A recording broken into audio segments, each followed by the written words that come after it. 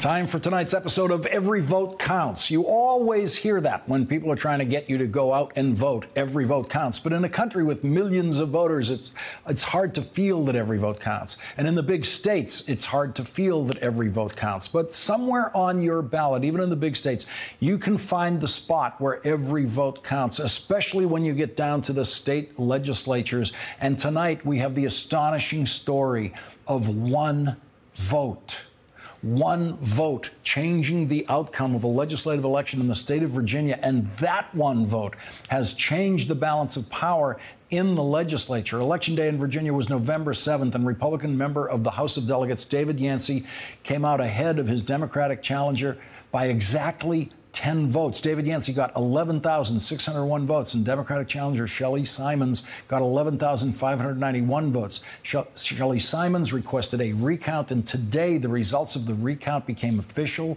Republican David Yancey ended up with 11,607 votes, and Democratic challenger Shelly Simonds ended up with 11,608 votes. A one vote margin. 23,215 people cast their votes in that election, and every single vote counted. If just one of Shelly Simonds' voters stayed home or got stuck in traffic and gave up, then we'd have a different outcome tonight. The Republicans have now lost their majority in the state House of Delegates, and so that one vote has changed everything in the Virginia House of Delegates. The Republican leaders in the Virginia House of Delegates do not have the power today that they had yesterday, all thanks to that one vote. The power of one elected Shelly Simonds and has changed everything in the Virginia House of Delegates. Shelly Simonds joins us next. On election night last month, Virginia made history by electing the state's first transgender member of the state legislature, Danica Roem.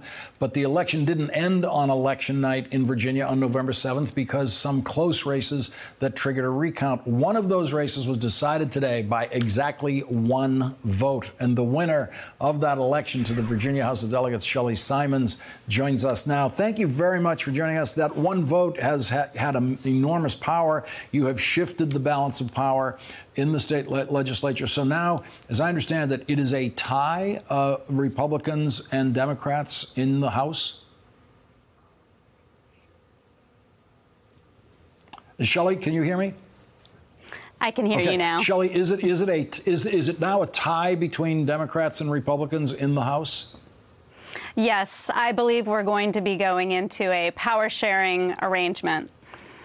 And so that means that the Republican leaders of the legislature no longer have that power that they had yesterday, really, where they could just decide what that body was going to do. Yes. Uh, what a difference a day makes in Virginia.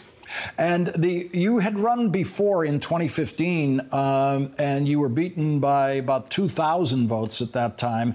But the vote count was much lower, a turnout of about 14,000. Uh, this time your turnout was 23,000. It seems like turnout made the difference. It really did make the difference. Uh, last time I ran, it felt like we had a party and nobody showed up. This time, everybody came out to vote, and we, we really rocked it. And it's because of the voters, and their participation made all the difference. And you didn't even get started in this race until August, which I find shockingly late, especially for what is a come from behind win. Uh, did it feel as you were getting close uh, to the to election day just how close this race was? Yes, I could definitely feel it on the ground, how close it was. Uh, but you know, we had we had a lot of groups from um, not even just Virginia, outside Virginia, really involved this time. So it felt very different than 2015. And uh, when will uh, we get the final makeup of the Virginia legislature? Are there more recounts underway now?